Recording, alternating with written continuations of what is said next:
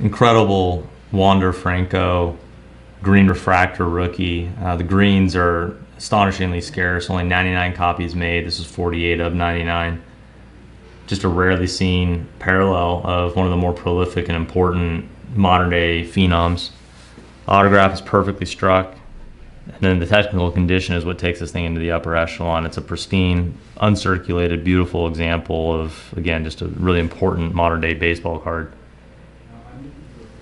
Just for completeness, we'll do a scan around the periphery and see kind of how it all breaks down, but the technical grade, uh, you know, basically tells the whole story.